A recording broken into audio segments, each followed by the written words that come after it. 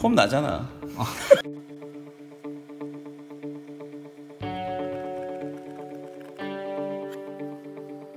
지난번에 모닝 수리했던 그 정비 업소인데 저 친구가 BMW 바이크를 할 때 수리가 의뢰가 들어왔대요. 오, 바로 밑에요.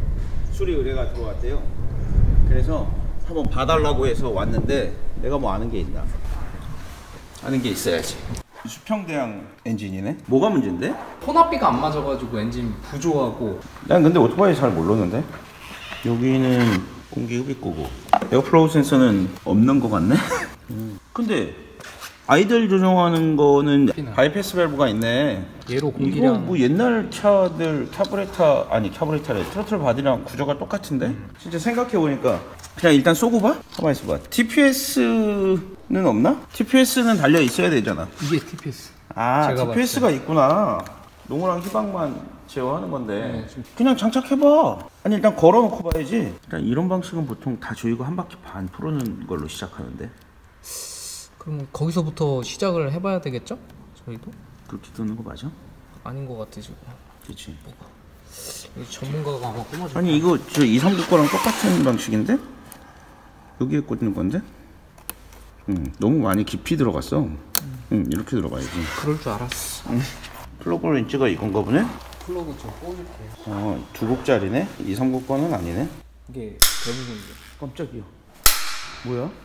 이 토크 기능이 있더라고 오, 좋은 거네 연장 좋은 거 쓴다 흡기온 센서 꽂아주고 영하 40도가 되니까 이렇게 되면 배터리는 그냥 여기다가 바로 물리면 점프선 해가지고 물리면 될 거고 연료는 넣어주고 근데 얘는 오일이 안 새?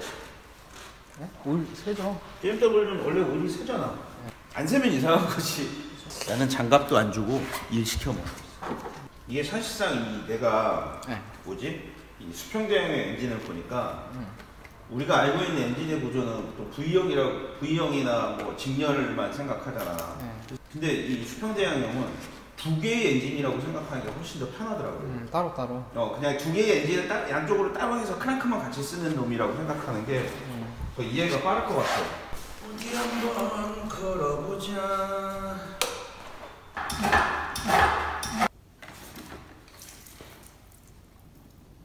똑똑하지.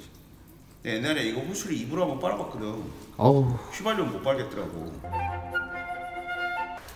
정말이야? 네. 캔도 빼놨어. 네, 저는 핀도 빼놔 키 빼놔야 돼. 유급할 땐 키가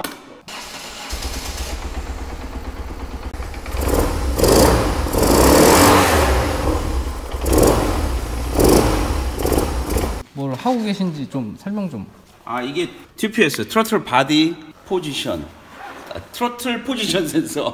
아 이게 기억이 안 나네. 요즘 TPS가 잘 안 달려가지고. TPS의 포- 이 위상에 따라서 가속력이 달라지거든. TPS가 잘못되면 실제로 들어간 공기 양에 비해서 연료 양이 많이 들어가거나. 요즘 엔진 같은 경우는 들어가는 공기 양을 측정을 하고 injector로 해서 연료 양을 정확한 양을 집어넣어 주는데 초창기 때 엔진이다 보니까 O2 센서도 없고 airflow 센서도 달려있지 않은 타입이라 포지션 센서밖에 없단 말이지 이게. 한 요 정도로 세팅하고서 시동을 한번 걸어봐. 어, 요 정도로 해서 걸어도 될 것 같아.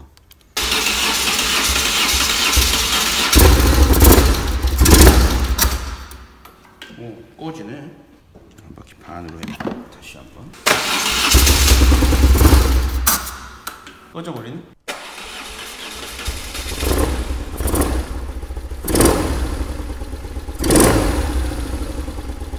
농후하면 당연히 냉각에 유리하고 희박하면 유비에는 좋은데 내구성이 그렇죠. 좀 떨어지게 되겠지. 아무래도 연소실의 온도가 올라가고 열 관리가 잘 안 되니까.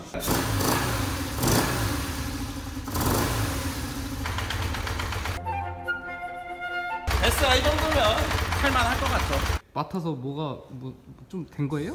폼 나잖아. 제 영상이 도움이 되셨다면 구독, 좋아요. 구독과 좋아요는 영상을 제작하는 사람에게는 큰 힘이 됩니다. 감사합니다